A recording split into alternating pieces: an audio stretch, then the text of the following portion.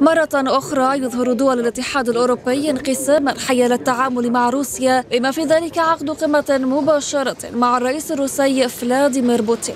قادة دول التكتل استبعدوا عقد قمة مع بوتين في بروكسل بسبب ما قيل عن عدم توافر الشروط اللازمة لعقد مثل هذه القمة. ألمانيا وفرنسا كانتا من ضمن الدول المناصرة لإجراء حوار مباشر مع الروس حيث شددت المستشارة الألمانية أنجيلا ميركل على ضرورة أن يخلق التكتل صيغا مختلفة للحوار مع موسكو وهو رأي وافقه الرئيس الفرنسي مانويل ماكرون الذي أكد أن إجراء الحوار مع الروس ضرورة لاستقرار أوروبا والدفاع عن مصالحها وهو ما أيده أيضا مستشار النمسا بينما اعتبرت دول أوروبية أخرى أن هذا المطلب سابقا لأوانه وأن أي حوار مع بوتين مرفوض قبل أن يغير من سلوكه.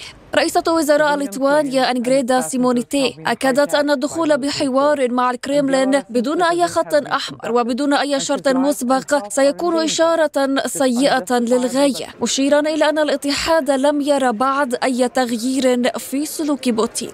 ودعا قادة الاتحاد الأوروبي روسيا إلى إظهار انخراط بناء بشكل أكبر وإلى وقف إجراءاتها ضد الاتحاد والدول المجاورة له. وقالوا أنهم مستعدون للرد بطريقة حازمة ومنسقة على أي نشاط جديد خبيث وغير قانوني ومعطل من جانب روسيا على أن يستخدموا بشكل كامل كل الأدوات المتاحة لهم. وقد كلف وزير خارجية الاتحاد جوزيف بوريل تقديم خيارات لمزيد من الإجراءات التقييدية بما في ذلك العقوبات الاقتصادية. وكان بوتين قد أبدى في وقت سابق تأييده وضع آلية حوار واتصالات مع الاتحاد وفق ما جاء على لسان الناطق باسمه ديمتري بيسكوف.